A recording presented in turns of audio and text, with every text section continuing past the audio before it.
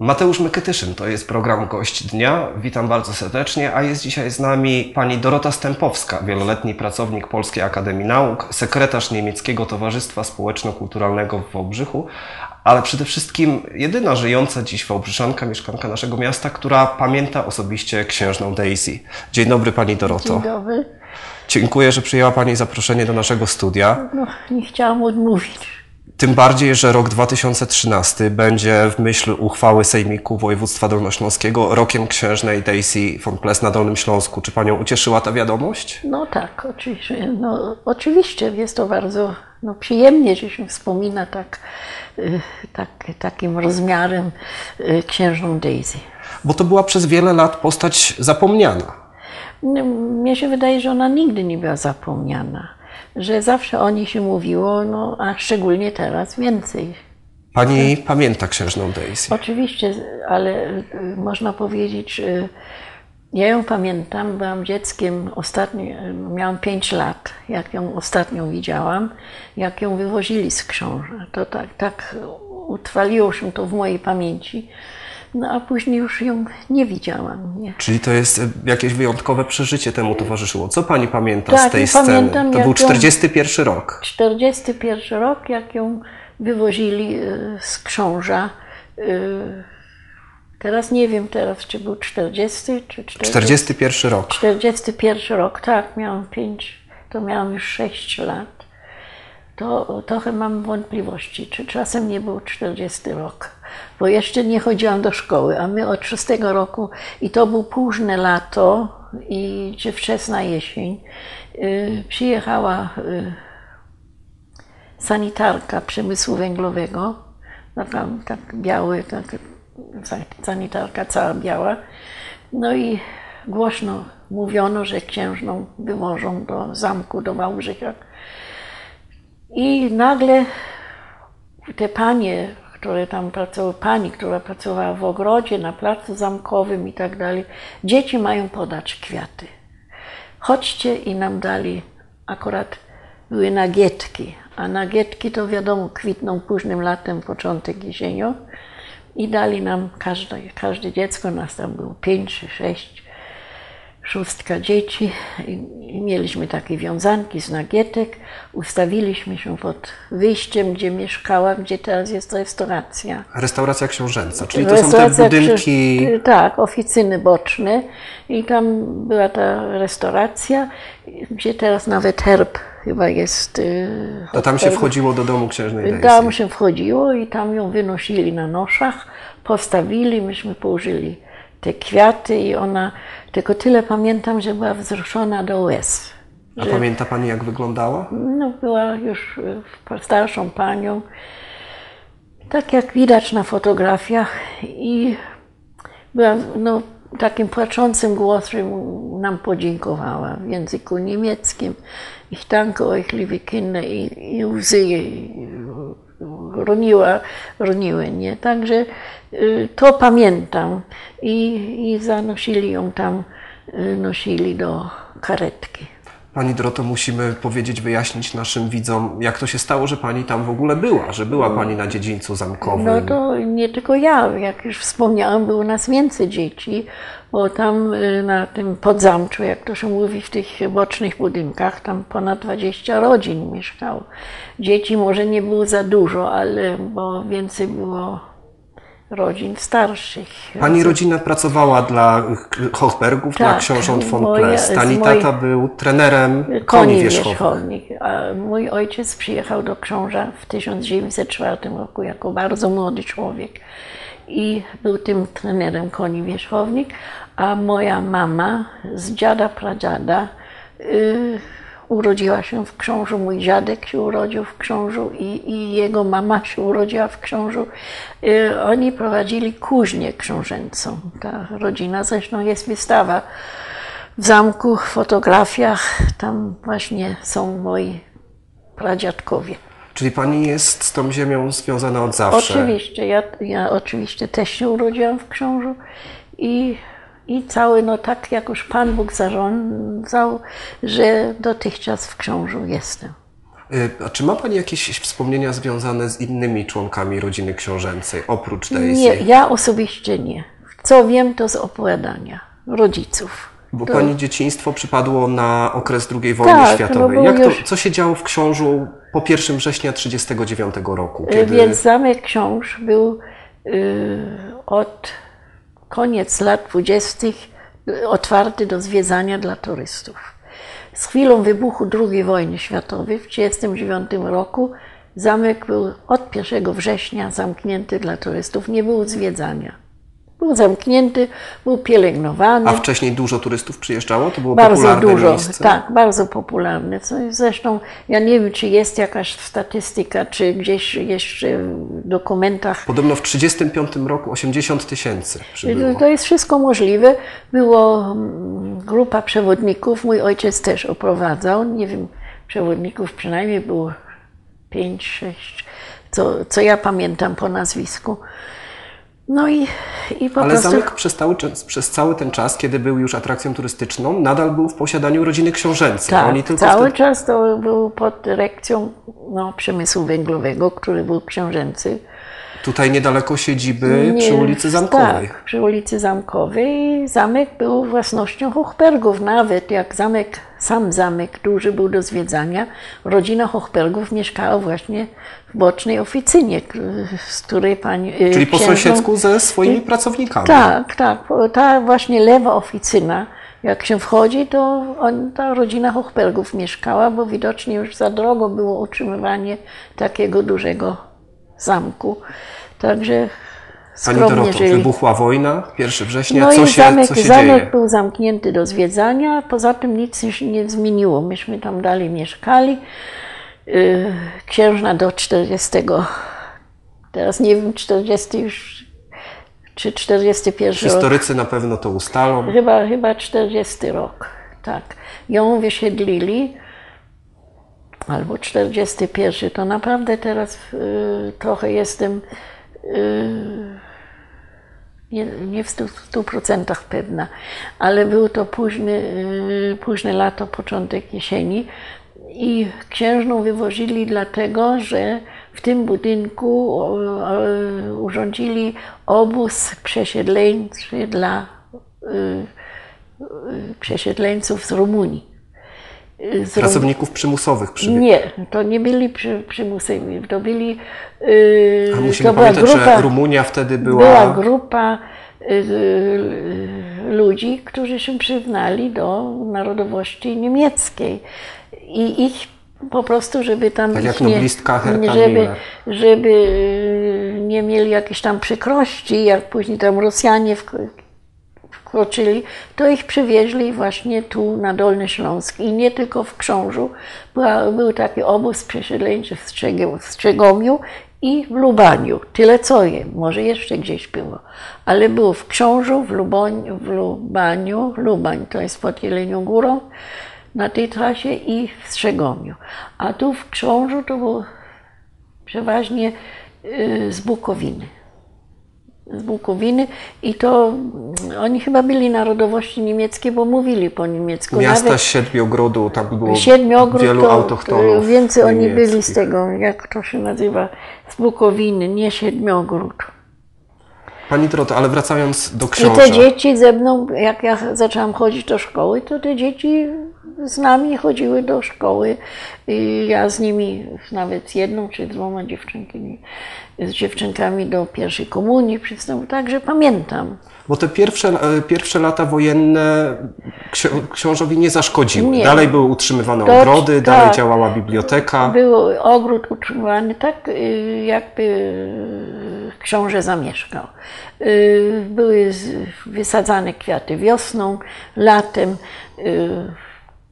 Zasadniczo o- ogrodników albo y, do prac ogrodowych były dwie osoby, czy trzy. Był ogrodnik i, i dwóch pracowników ale do tych, to było to utrzymywanie porządku, ale do wysadzania kwiatów y, wiosną, do wysadzania kwiatów y, latem, do uporządkowania jesienią, to w ten czas brygada z palmiami, z ogrodnictwa Lubichowy przyjechała i zajmowała się tym.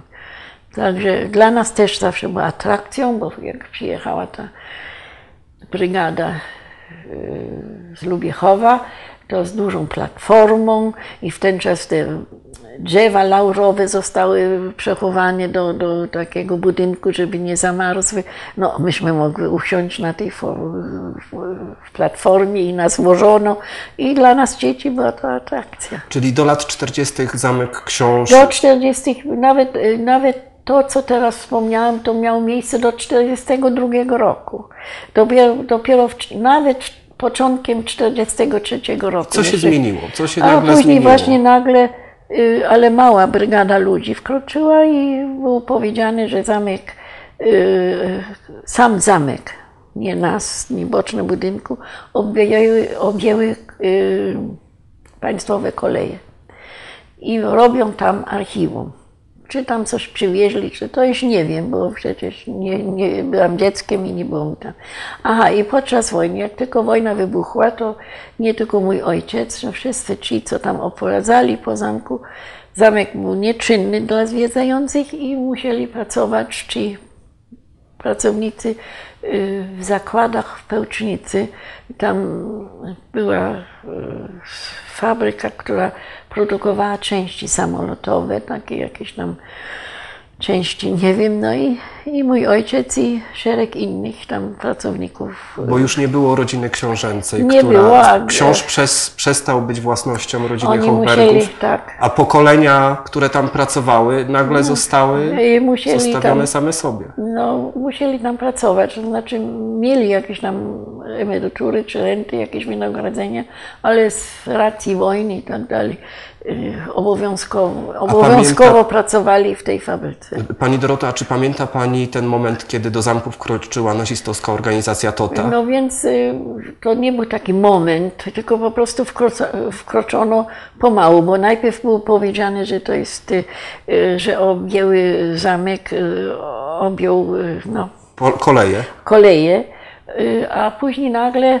zjawią się grupy w tej organizacji TOT i wszystko się zmienili, nagle y, coraz więcej ludzi, y, pracowników, no i, i więcej też nikt nic nie wiedział, bo nie, nie było powiedziane, że będzie to albo to, tylko po prostu Nie wiedzieliście się, co tam nic się nie. dzieje. I było powiedziane, i to było w 1943 roku, że wszyscy ci, którzy tam mieszkamy, muszą opuścić że dostaniemy mieszkania gdzie indziej. I to pamiętam, że w pewnej niedzieli y, przyszedł tak zwany komisarz mieszkaniowy, oglądał mieszkania i pytał się, do, dokąd y, dana rodzina chce się wyprowadzić. No przeważnie, bo proponowano, bo proponowano Szczawno, Szczawienko, Wałbrzych. Także moi rodzice, tak jak większość, wybrali Szczawno zdrój. Mówili, jak już mamy wyjść z Krząża, to Szczawno, bo jest ładnym miejscem. Nie, I też było książęce do i 1931 tak, roku. i, I tak pomału, pomału, gdzie jakieś mieszkanie się znalazło, to ludzie musieli opuścić. To już nie było żadne ale. Także nawet teraz są ślady tej wyprowadzki. Jak pan teraz kiedyś będzie w Krzążu, to podwórko, gdzie teraz jest parking hotelowy, wjeżdża się boczną bramą. Jak pan się przy tej bramie, jak się przygląda pan dobrze, to brakuje łuku. Ten łuk jest wybity, bo samochody transportowe, z których meble wywozili, się nie zmieścili w tym. Musieli powiększyć I, po trzeba było wybić. I to, to są ślady jeszcze tej, tej przeprowadzki. No i, jak, i tak stopniowo ludzi wysiedlano. Ym, Moi rodzice, znaczy ojciec, otrzymał zawiadomienie, że dla nas jest mieszkanie w Szczawnie, ale zawiadomienie przyszło na początku maja, albo 4 maja, albo 3, to już nie pamiętam, że to jest w Szczawnie Zdroju, Zdroju ulica y, Sternstraße, no to, to, to nie wiem, może teraz Kopernika, bo coś o gwiazdach mówi, nie?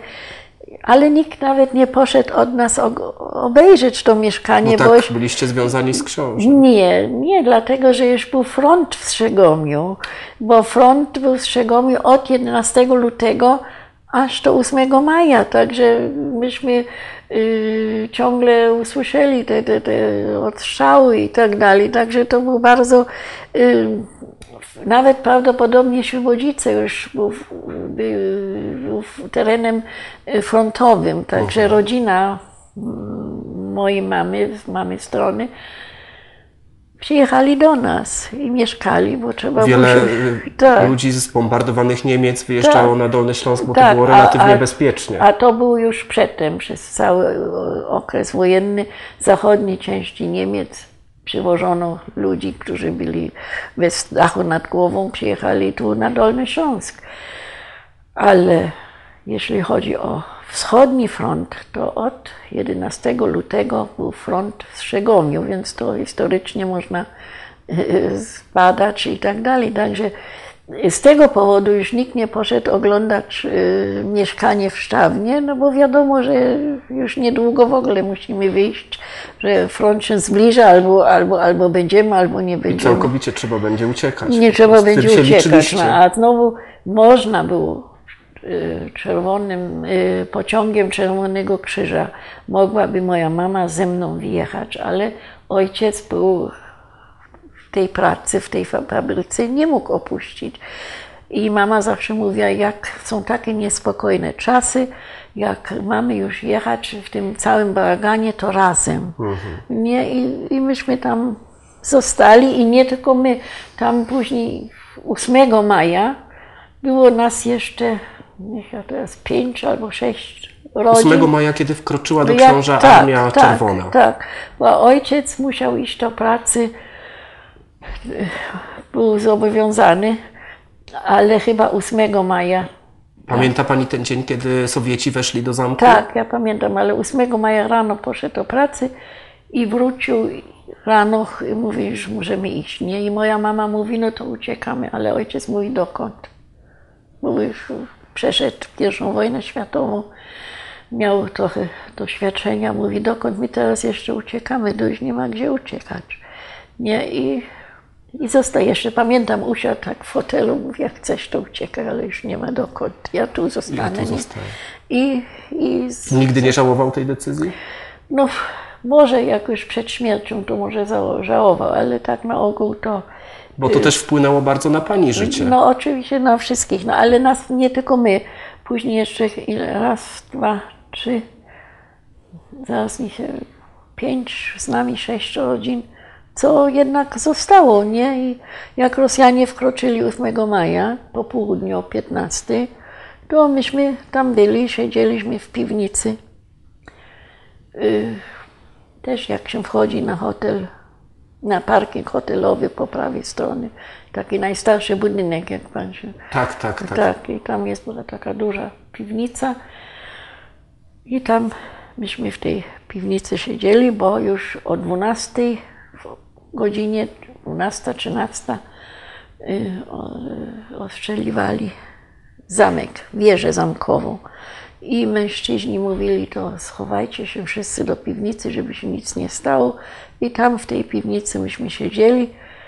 Później gdzieś tam przed, przed trzecią, przed trzecią, po drugiej, po trzeciej tak ostrzeliwali mury z zewnątrz i czekali, że jest Jakiś opór. odzew. Tak, Ale odzew. zobaczyli, że A nie tego nie było, to mężczyźni wychodzili w takiej przerwie y, przed bramy i, i mówili, żeby nie strzelali, że nie ma tu wojska, tylko jest ludność cywilna.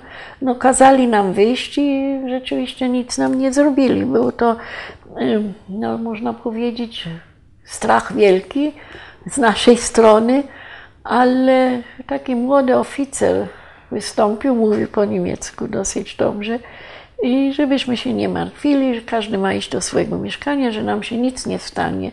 No i, i Czyli tak trafiliście też- na przyzwoitych tak, Rosjan. To- no bo to była ta grupa sz- szturmowa, nie?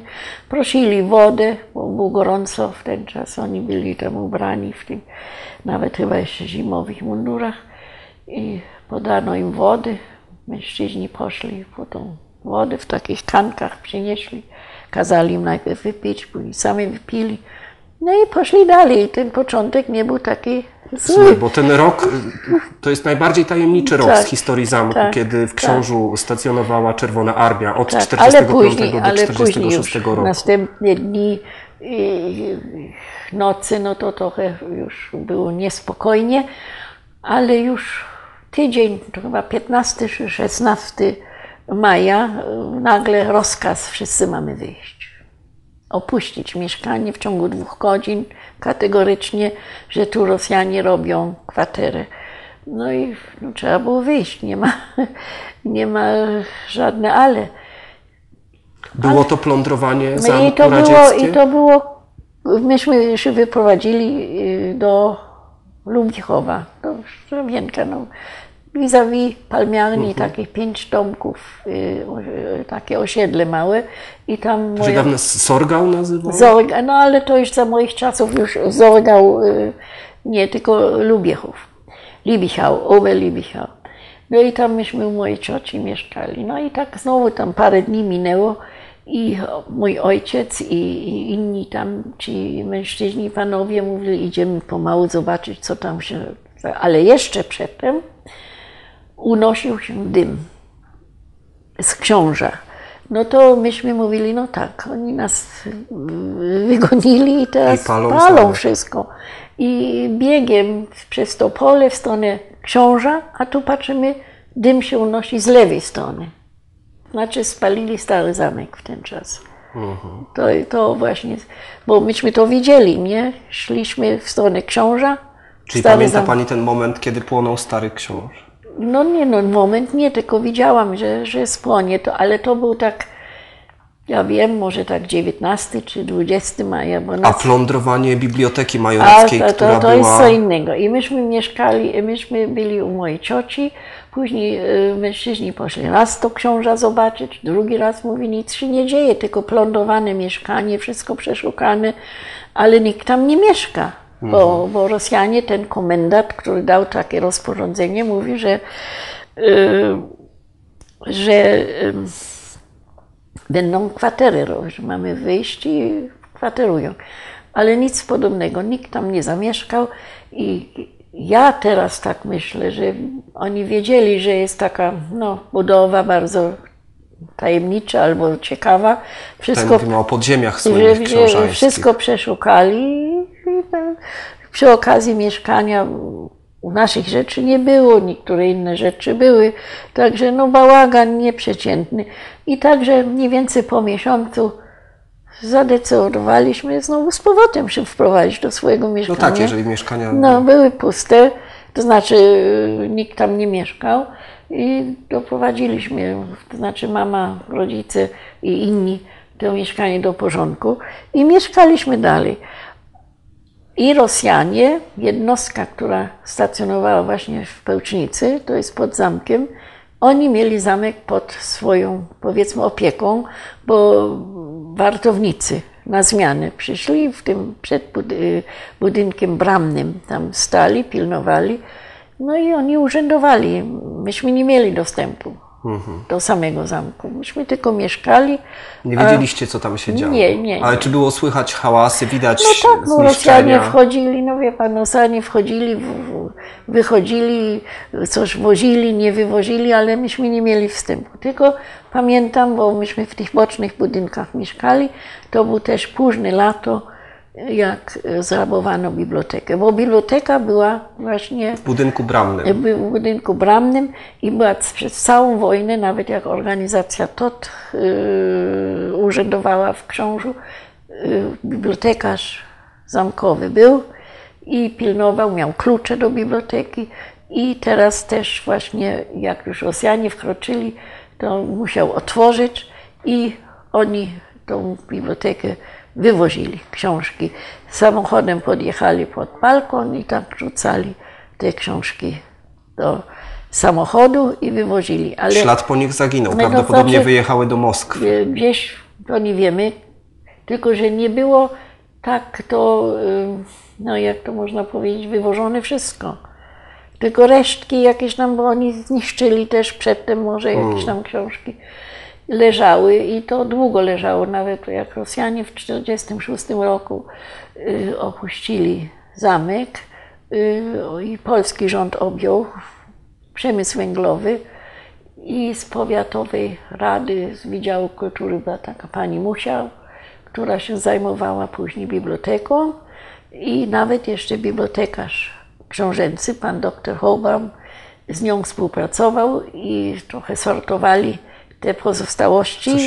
Tego nie było za mało, było nie tak mało prawdopodobnie. I wywożono w 1948 roku do Wrocławia. A pan Hobaum został wysiedlony w 1946 roku. Jak były wysiedlania, też chyba we wrześniu.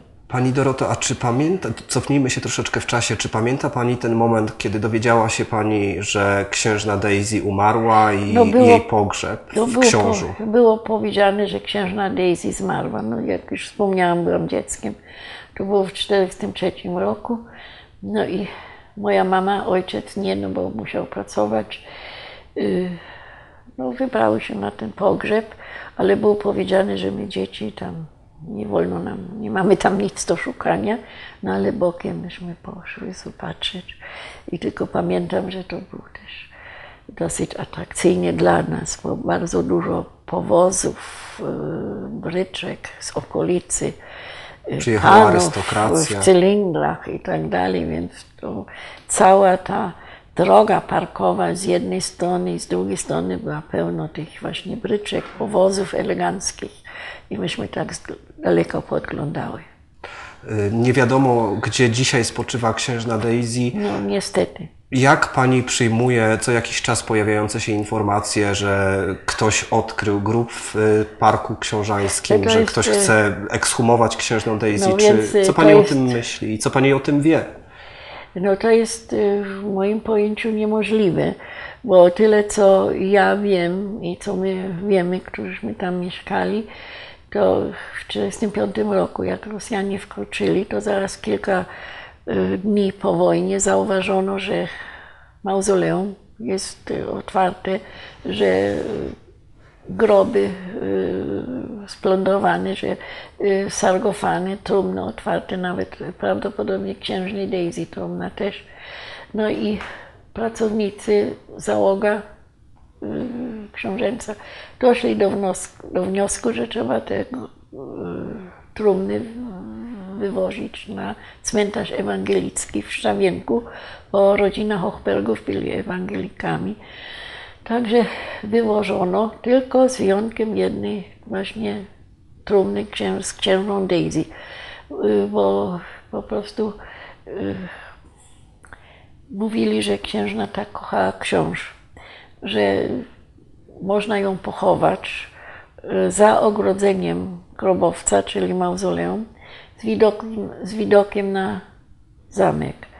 I to też zrobiono, ale skutek taki, że zauważono, że jest świeżo zrobiony grób i znowu, znowu wygrzebali tą trumnę. No to spowodowało, że y, właśnie ówczesny ogrodnik, który też jeszcze był w książu, pan Scholz y, i grabarz i kościelny kościoła ewangelickiego y, w nocy po prostu wywozili tą ostatnią trumnę, trumnę z księżną Daisy na cmentarz ewangelicki w Szczawienku. Dzisiaj już nieistniejący, w tym Właśnie. miejscu droga ekspresowa Właśnie łącząca... to jest, to jest błąd, bo ja to zawsze każdemu to mówiłam i w latach 70. też, że tam w tym grobowcu na cmentarzu ewangelickim są te trumny. No ale po prostu mnie nie wierzono, że wierzono, że księżna Daisy jest pochowana pod rododendrami yy, w parku. Tak. A to jednak się nie sprawdziło, no i bo gdyby w ten czas zaglądali to na cmentarz ewangelicki, znaleźliby to, to miejsce i byłoby teraz inaczej. Czyli nie ma szans na odnalezienie. Nie wiem, to ja na ten temat nie mogę się wypowiedzieć. Ja nie wiem, w jaki sposób te trumny zostały wywożone. Czy, czy jest jakieś miejsce, gdzie. To ja nie wiem. Pani Doroto, rozmawiamy, możemy tak do jutra, chociaż Tak, nasz, nasz tak. czas antenowy się zaczyna kurczyć. Y, Jest Pani tutaj od zawsze. Ja na Tak. koniec spytam, jak bardzo się różni dzisiejszy Wałbrzych od Waldenburga Pani dzieciństwa? Więc, y, proszę pana, w dzieciństwie Waldenburg to myśmy y, po prostu bardziej byli związani z Siłowicami. Waldenburg to był ten Waldenburg, był mały, bo teraz jest duży Waldenburg, bo wszystkie y, okoliczne gminy zostały do miasta wcielone. I myśmy może tak przeciętnie raz biorąc, raz w miesiącu, y, myśmy y, przyjechali na takie jakieś tam zakupy, albo jak jakaś uroczystość, jak cyrk przyjechał do Wałbrzycha, to była uroczystość. Nie? Także ja Wałbrzych y, y, nie pamiętam tak dobrze, tylko pamiętam, że były światła już na placu Grunwaldzkim, jak teraz i tak dalej. No to było coś innego, jak się z książa przyjechało, nie? Także ja na temat Wałbrzycha za dużo nie mogę powiedzieć. Czy Pani kiedykolwiek żałowała, że nie wyjechała do Niemiec? Że została w książu? Nie.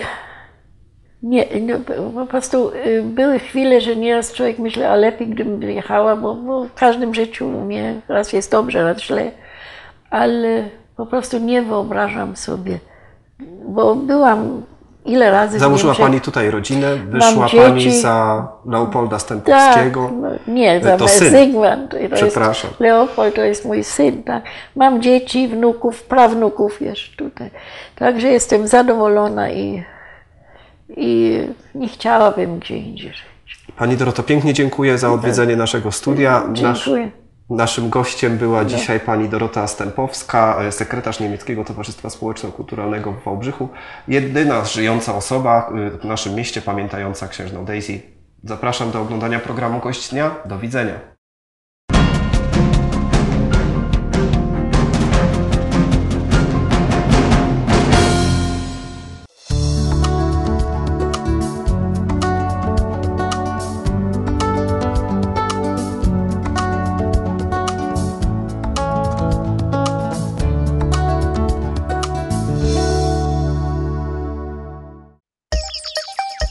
Nasze serwisy informacyjne i program Gość Dnia również w internecie. www.tvwałbrzych.pl Więcej informacji znajdziesz też na portalu wałbrzych24.com